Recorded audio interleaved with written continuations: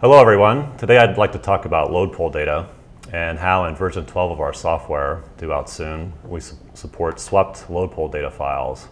Historically, we've supported single sweep point data files, uh, but in version 12 we support uh, swept variable. And I'd like to show you some of the functionality that's built in that allows PA designers in particular uh, to manipulate the data, work with the data uh, seamlessly, and get their designs done fast.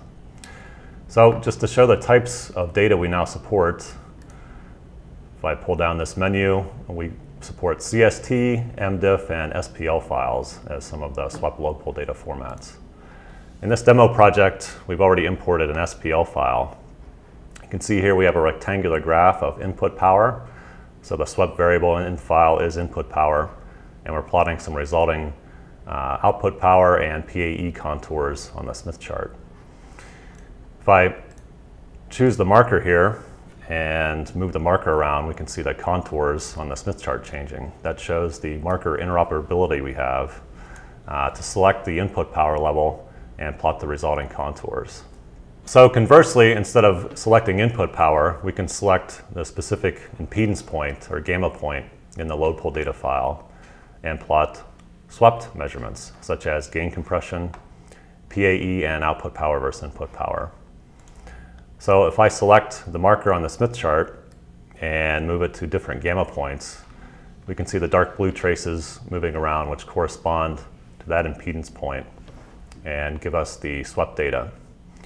Uh, also, we can notice the circle around here. This is the uh, VSWR measurement for that particular impedance point.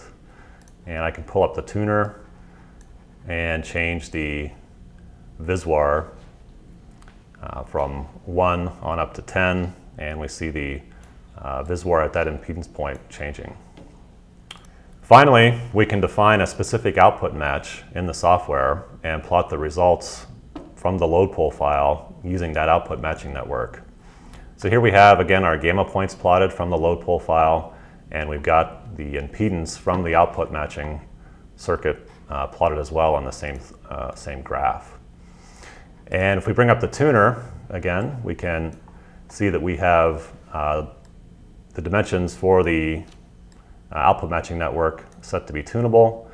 I'll tune those around. We can see the impedance changing on the Smith chart, and we can also see the interpolated results from the data file changing simultaneously.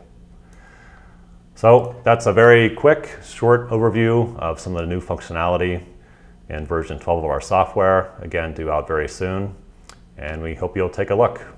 Thank you.